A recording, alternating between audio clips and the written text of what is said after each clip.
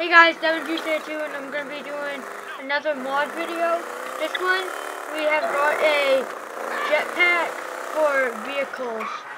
And I'll show you guys what I mean right now. Literally, and it is sick. You fly around literally as well as you want. It's like San Andreas, like the jetpack that they had in that game. It was sick, but it but this is for cars. And uh, I'm just gonna do a little quick video on it, like I did for the turbo one.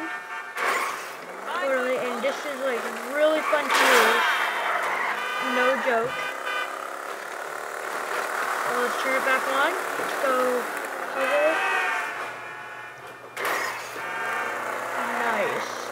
Let's see if we can jump. Yeah, that looks really sick.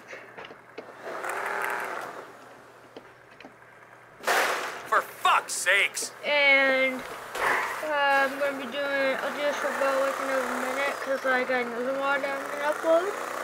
And yeah, we'll have some fun stuff. So here we go. Dang, that was hard to do because I couldn't get, couldn't hit the button fast enough. Still, dang and see you can basically fly to any roof. It is really sick. The only downside about it is it is really hard to control once it like get up in the air. Like it's easy, but like that like right there, if you crash into one little thing, it, it just messes the whole thing up. And we'll see if we can get on top of a maze bank. Actually, like successfully land it. Let's see. On.